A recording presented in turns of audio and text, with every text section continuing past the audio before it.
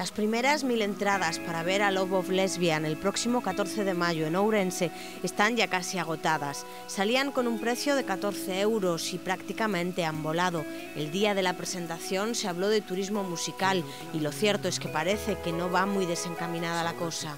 Os filtro que llevamos una cantidad abultada de entradas vendidas y os filtro que el otro día se veía como un 50% de entradas estaban comprando fuera de la provincia de Orense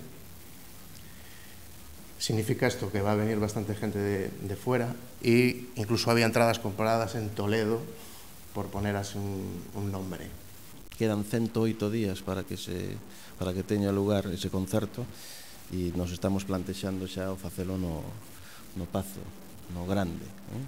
porque creo que eh, o movimento que se xerou durante este tempo, que todavía non foi o forte da promoción, pois eh, indica que sendo capital e centro único do noroeste peninsular da súa actuación pois eh, esperamos un, un cheo importante.